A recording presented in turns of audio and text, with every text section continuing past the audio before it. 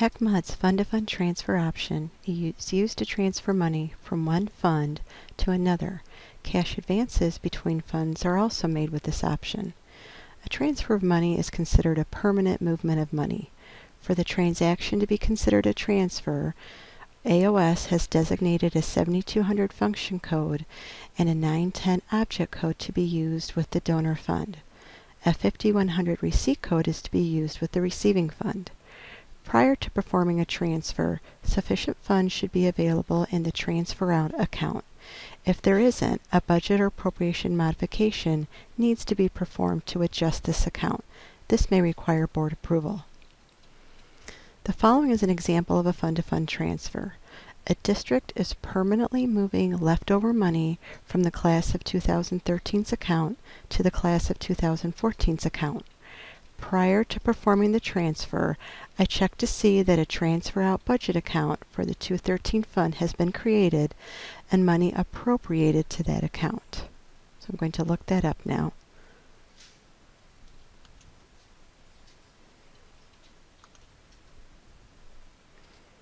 And there is sufficient money in this account.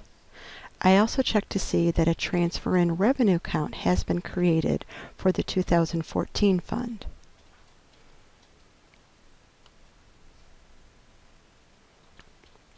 And one has been created. Using the fund-to-fund transfer option in ACTMOD, I will enter the following.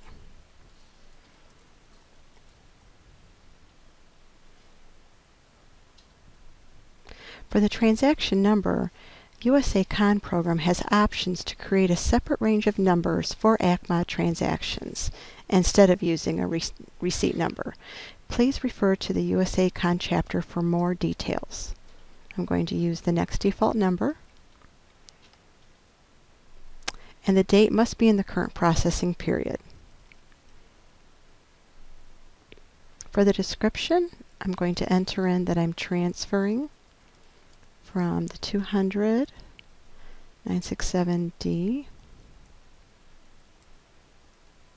to the 200 967E fund.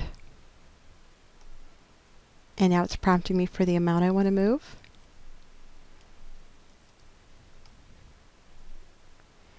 Next, I need to enter the transfer budget from which the funds will be transferred out of. So I'm using a budget account.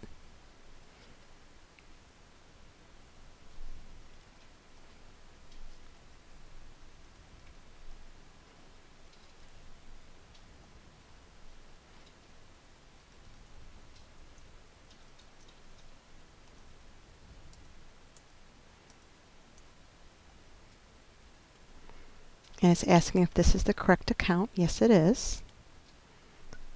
And now I'm going to enter the transfer in revenue account to be increased.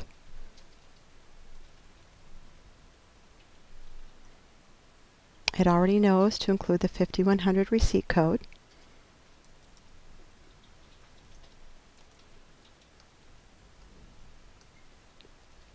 And it's asking if this is correct. A PO vendor and check are needed to complete the transaction. Most districts use a memo vendor since this is a movement of money within the system. Please note that the check created will not have its status of memo. The status will be transfer and transfer checks need to be reconciled at the end of every month.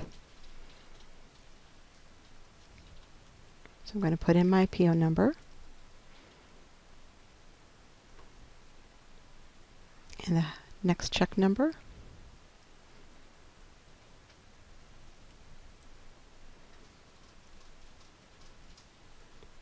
And I'm using a memo vendor.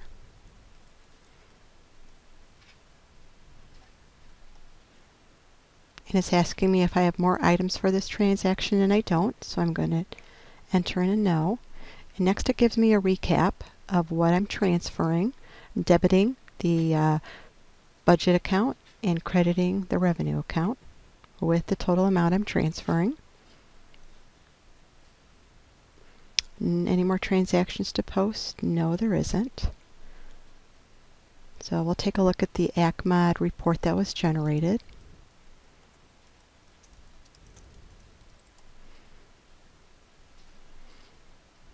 And you will see here, it gives me the transaction number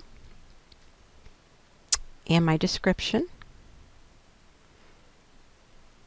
And then from here as well, I'm putting in the amounts that I transferred out of and what I transferred into. And the total amount, 1230.75, and that's correct.